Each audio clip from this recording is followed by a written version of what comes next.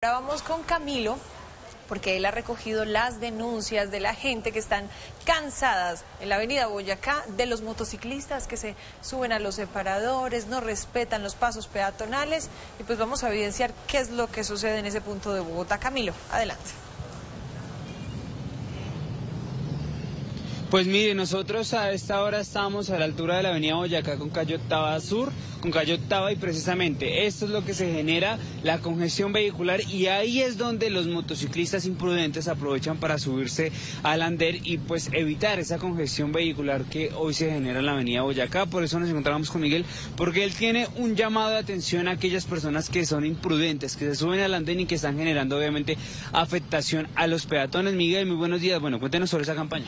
Bueno, buenos días a todos. Bueno, lo que buscamos con esta campaña es buscar que la gente cambie el chip de que tenemos que portarnos mal cuando vamos de afán. Por ejemplo, veamos, ahí viene un motociclista, la idea es eso, como dar ese ejemplo por medio de ese llamado, buscar que estos motociclistas no se suban al andén, que lo que busca es obviamente impedir esas imprudencias y como ustedes pueden observar, en el cartel observamos que dice lo siguiente, no seas los límites de velocidad, no te subas al andén, cumple las normas de tránsito, cada vez que te soportes mal, haces quedar mal a el gremio. Eso es lo que está haciendo este gremio de motociclista, buscando obviamente que estas personas imprudentes que aprovechan la congestión vehicular, subirse al andén y obviamente pues generan hasta posibles siniestros viales porque según la Policía de Tránsito aquí se han presentado más de 150 siniestros viales en la localidad de Kennedy Miguel.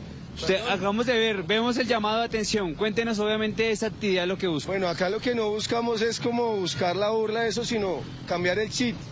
Dejemos los afanes, hagamos con tiempo y tenemos que dar un buen ejemplo. No todos los motociclistas se portan mal. Nosotros peleamos mucho por nuestros derechos, ahora también estamos peleando por el derecho de todos los actores viales porque esto es un mal ejemplo. Pero es un llamado a cambiar el chip, no solo porque vemos la cámara o porque me ven a mí con el megáfono, no hacerlo, no. Esto tiene que quedar en cada pensamiento de cada motociclista. Somos un gremio grande, organizado, que hemos hecho grandes cosas y esa es la hora de mostrar que también nos podemos portar bien en las calles. Principalmente, principalmente eso, vemos los mensajes que dicen también no ser los límites de velocidad, algo que vemos normalmente en Bogotá y que pues incurre también en el gremio motociclista. Ese llamado entonces, ¿cuál sería?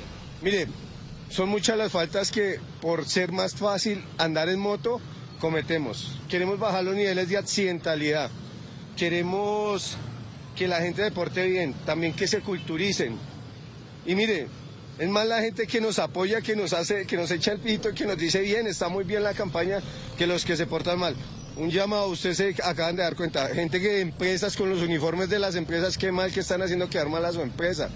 Piénselo muy bien, es que no solo este corredor, el de la ciudad de Cali, al frente del Home Center, lo que es el Tintal y muchos lugares, he visto gente que va con su niño por el andén y motociclistas por el afán de hacer eso. No todos son.